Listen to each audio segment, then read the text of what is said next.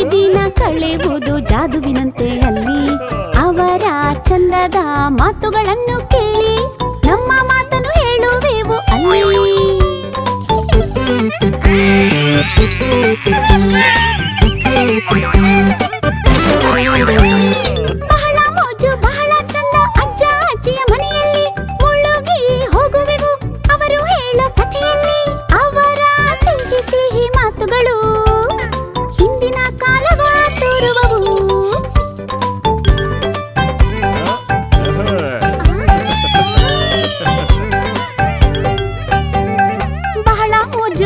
ಚಂದ ಅಜ್ಜ ಅಜ್ಜಿಯ ಮನೆಯಲ್ಲಿ ಪ್ರತಿದಿನ ತಿನ್ನುವೆವು ಇಷ್ಟದ ತಿಂಡಿಗಳು.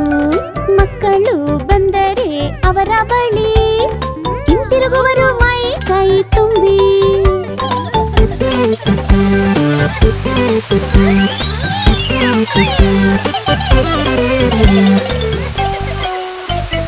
ಬಹಳ ಮೋಜು, ಬಹಳ ಚಂದ ಅಜ್ಜ ಅಜ್ಜಿಯ ಮನೆಯಲ್ಲಿ ಕೆಟ್ಟರೆ